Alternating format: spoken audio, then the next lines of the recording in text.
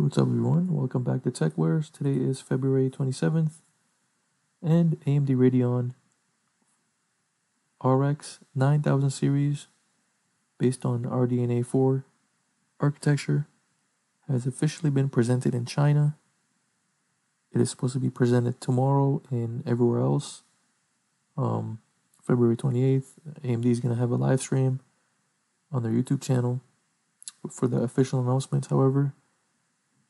It's already been announced in China, and the prices are in uh, Yuan. I think that's how you say their Chinese uh, currency. Yuan, I think. So uh, the XT, the, the 97 XT, RX 97 XT, it's 599. We are just conversion uh, converting um, Chinese uh, yuan to you know USD. So equivalent to $600 or 599 and the non-XT version just 550 so these prices are pretty surprising honestly. Uh, people thought that the 97 XT is going to be priced at 699 some people th- thought it was going to be priced at 650 however $600 i think that's a pretty good it's okay. I mean it's okay price I mean, it's 600 it could have been 550.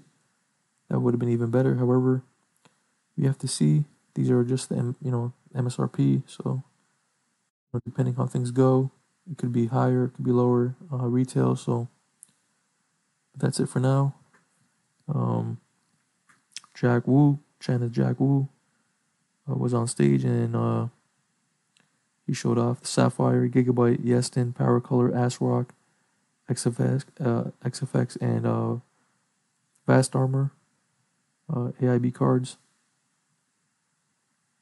So uh, yeah, so AMD did not mention the press event in China earlier, so it's a bit of a surprise to announce pricing for this market 12 hours before the global price reveal.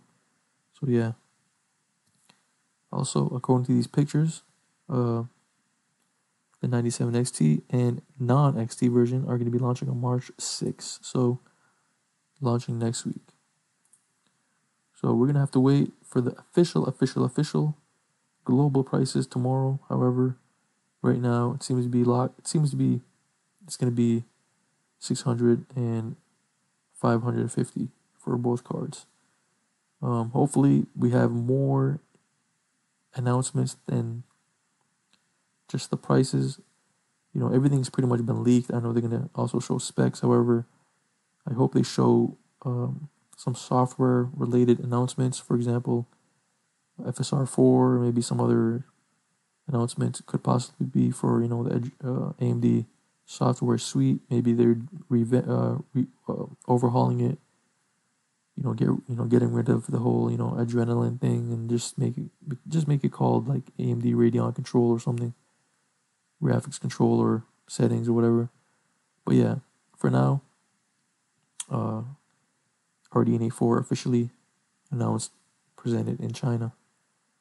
We'll wait tomorrow to see the global announcement and global prices. Take care, everyone. Peace. Let me know what you think in the comments of the prices as well.